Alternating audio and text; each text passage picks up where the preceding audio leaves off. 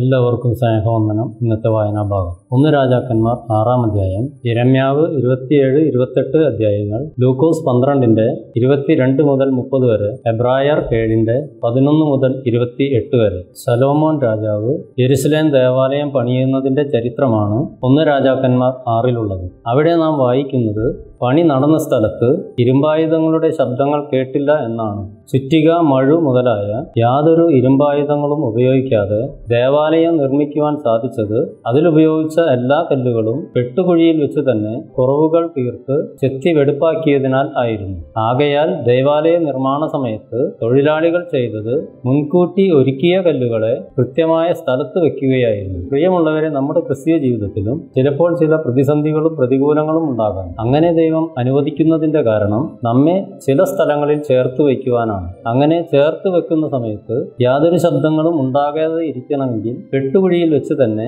നാം ചെത്തി വെടുപ്പാക്കപ്പെടണം.